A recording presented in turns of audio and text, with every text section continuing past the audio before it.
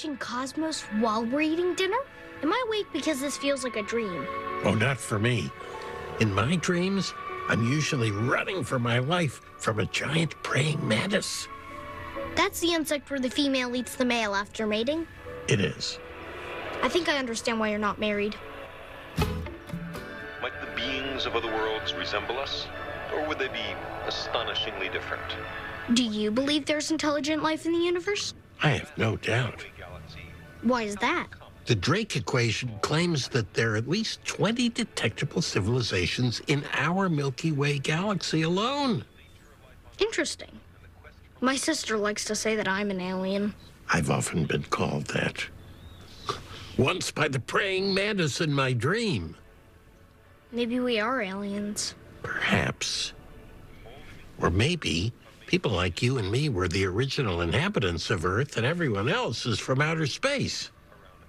Ooh, I like that better. In the great dark between the stars, there also are organic After dinner, want to toast marshmallows on a Bunsen burner?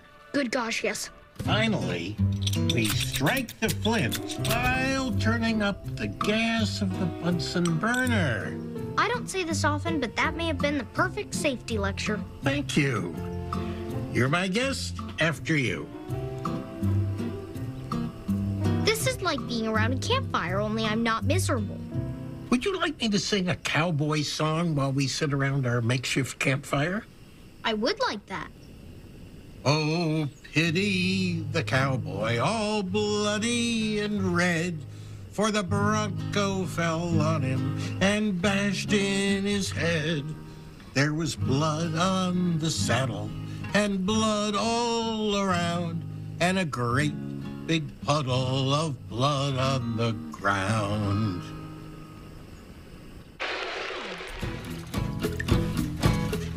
If you like being tucked in, I'm prepared to do it. I practiced on a watermelon. That's okay. I'm a self tucker. Very well. Now, I'll be in my room if you need me. Here's a glass of water if you get thirsty. And there's fresh chalk on the blackboard in case of any late night epiphanies. Excellent. Oh, and uh, if your Meemaw asks how I did tonight, I hope you'll give me a positive review. Three stars.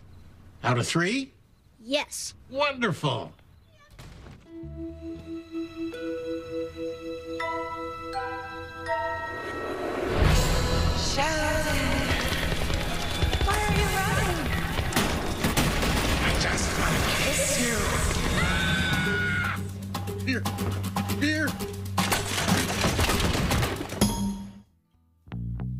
Dr. Sturgis? Oh, Sheldon, so nice to see you. I think you tripped and hit your head. I'm a bit woozy. I better test for concussion. What's your name? John Burgess Sturgis. Burgess Sturgis. Great name. Thank you. Who's the President of the United States? George Herbert Walker Bush. I like Burgess Sturgis better. 'Cause it rhymes, sure. Last question. What is the only fermion that may not have an antiparticle? The neutrino, of course. I'm gonna rule out concussion. To be fair, it was an easy question. True. Wait here. I'm going to go get some ice for your head and I'll fix you a hot beverage. Oh, there's a there's an Earl Grey tea bag in the sink. I think it still has some. Uh, oh dear. Oh, uh, oh dear. Oh dear. Oh dear. Oh dear.